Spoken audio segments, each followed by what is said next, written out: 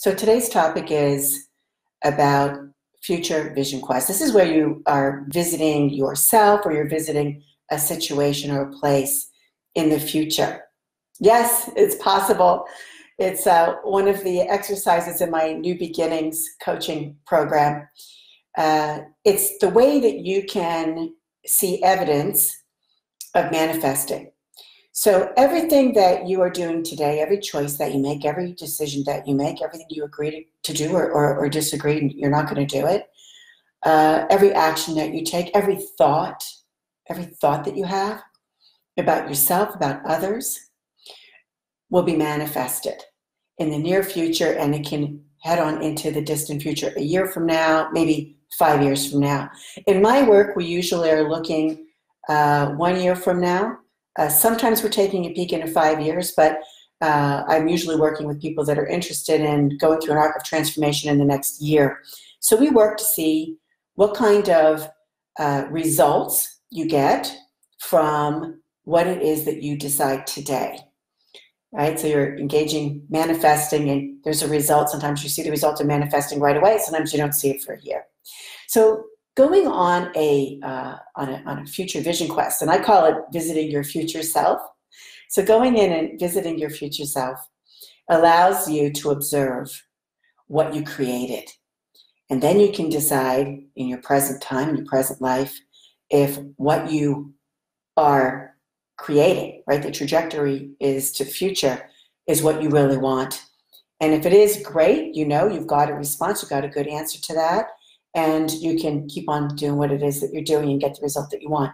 If, however, you're not seeing it, it means that there's choices that you aren't making currently that are going to manifest what it is that you want in the future. So that's the first reason why you uh, would want to or consider uh, doing uh, visiting your future self in a future vision quest.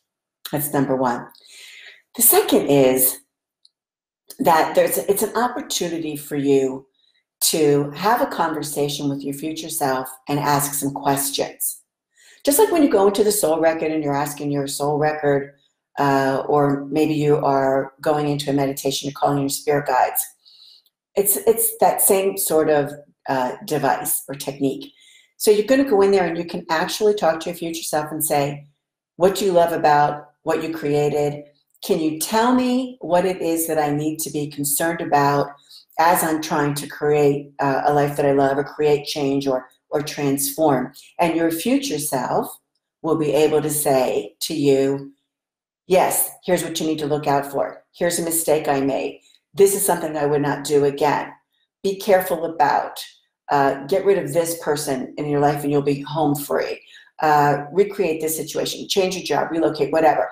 Your future self, your future self, having already experienced uh, what it is you're creating, will be able to share with you a couple of a couple of things as a heads up to watch out for, and that's that would be. Wouldn't you love to have that? Great news. So this is why I, I use this uh, technique in my coaching because it's effective very quickly you're able to gather information. You're able to gather it from a place where all of the manifesting has already materialized. So I call it visiting your future self. Now, um, how to do it, right? That's a different question.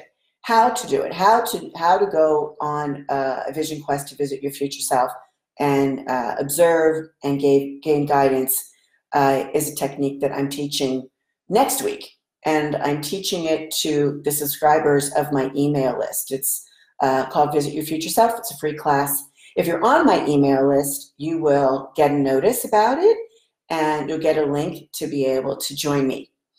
And if you're not on my email list, it's very simple. You can just get on my email list if you want by uh, going to my website, trulyliving.net, and just signing up for one of the freebies there, right? The, the newsletter, the, you know, the, the meditation guide, uh, the free intuition course, something like this.